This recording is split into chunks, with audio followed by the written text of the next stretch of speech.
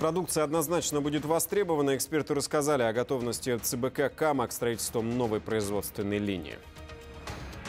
Наказание за неудачные инвестиции Минфин предлагает ввести дополнительную ответственность для негосударственных пенсионных фондов. За банкоматами в Перми будут следить камеры. Сбербанк усиливает меры безопасности в своих отделениях.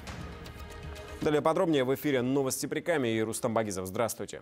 Коробочный картон, который могут начать производить в Прикаме, будет востребован, уверены эксперты. Сейчас такую продукцию в России никто не производит. К старту крупного инвестпроекта готовится целлюлозно-бумажный комбинат КАМА. В новом цехе планируется производить коробочный картон. По словам представителей компании, этот проект имеет ряд преимуществ. Главное – отсутствие конкуренции в России. Сейчас всю такую продукцию импортируют из-за рубежа. В 2015 объем поставок этого вида картона на российский рынок составил более 170 тысяч тонн. Эксперты добавляют у бумажного комбината КАМА, кроме всего прочего, выгодная производственная площадка в ближайшие годы то есть есть явная уверенность в том, что продукция значит, отечественного производства будет по-прежнему пользоваться спросом и будет востребована. Сейчас многие секторы промышленности, там, народного хозяйства испытывают дефицит а в отечественной продукции. И вот как раз есть необходимость его восполнить за счет открытия новых производств. Эксперты добавляют, завод уже готовит под новое производство. Снесены практически все старые здания. Выровнена площадка и проводится коммуникация. Уже сейчас, по словам предприятия, пройдена государственная экспертиза, получено разрешение на строительство. Ведется работа с банками по привлечению кредитных средств. Пока точную сумму инвестиций в новую линию, а также возможные объемы производства на предприятии не раскрывают. Новое предложение Минфина о наказании пенсионных фондов за неудачные инвестиции приведет к увеличению финансовой нагрузки, которую будут нести их клиенты. Такое мнение выражают эксперты.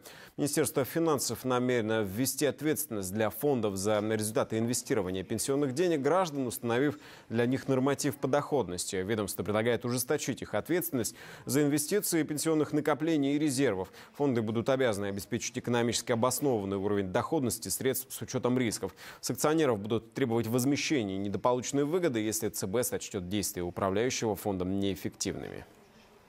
У нас все за все всегда в России платит конечный потребитель. Это ни для кого не секрет, это не тайна. Поэтому в конечном счете, когда такие нововведения происходят, э, достанется, может быть, даже не столько НПФ, сколько их клиентам. Как только запретили комиссию за выдачу кредита, сразу же появились страховки о жизни при выдаче потребительских кредитов как вот они на следующий день, они были готовы за полгода до того, как эта мера была принята. То есть банки же не богодельные, это коммерческие структуры, которые продумывают свои риски. Чем НПФ и хуже. Это структуры, которые не меньше, чем банки, которые во многом крупнее, чем банки. Они продумали эту ситуацию, у них наверняка есть план. В настоящее время законодательство требует от НПФ стопроцентной возвратности пенсионных средств. По мнению аналитиков, решение об ужесточении правил будет принято, так как оно соответствует сложившемуся законодательному тренду. С начала года, по данным Пермского пенсионного фонда, подано 160 тысяч заявлений о переходе в негосударственные фонды. Глава Банка России Эльвира Набиулина заявила о необходимости сдерживать укрепление рубля. Регулятор не собирается отказываться от плавающего курса. Сейчас национальная валюта пока остается стабильной из-за высоких нефтяных котировок. В дальнейшем, считают аналитики, ожидается некоторое ослабление на фоне возможного повышения ставки ФРС США. Доллар уже прибавил 39 копеек. Официальный курс, установленный ЦБ на завтра, 62,59. Евро 69,12. В ближайшие э, месяцы на банкоматах Сбербанка в Прикамье будет установлена система видеомониторинга. Эти нововведения появятся для дополнительной безопасности клиентов. Такая система будет установлена на самых востребованных банкоматах региона, которые необходимы населению круглосуточно. Сейчас в Сбербанке занимаются просчетами. По словам председателя Западноуральского банка, для реализации понадобится полтора-два месяца. Сколько всего будет потрачено средств, пока неизвестно. Не раскрывается и доля от общего числа устройств.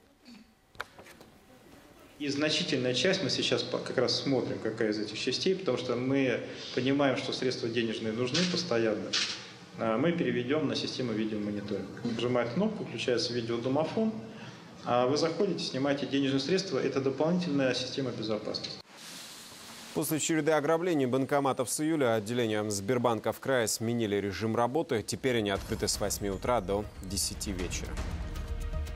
Пока это все новости. Следите за событиями в крае на нашем сайте perm.rbc.ru. Оставайтесь на РБК и хорошего вечера.